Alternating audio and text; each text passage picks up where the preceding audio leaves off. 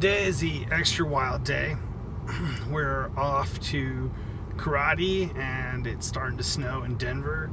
Um, the weather got really nice there for a little bit and then it looks like the snow is, uh, is coming back. Um, it's been a uh, fun winter.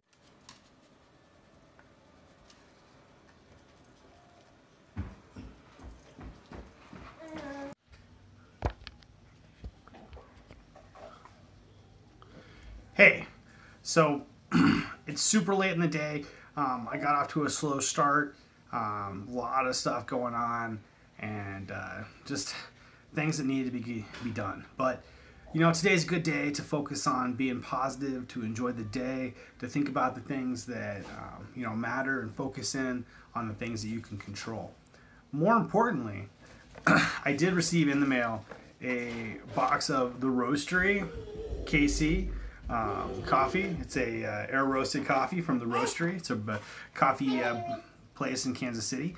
Um, the Sporting KC blend is one of my favorite blends. It's a medium blend. Um, it's got a lot of flavor to it, and I really enjoy it. So as soon as I'm done talking to you, I'll be drinking the coffee.